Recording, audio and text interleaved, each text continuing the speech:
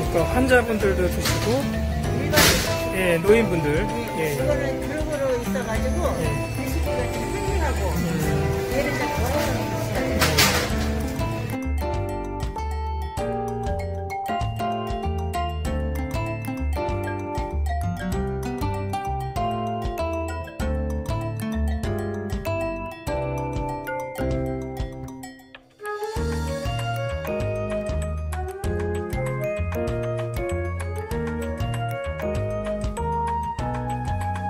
thank you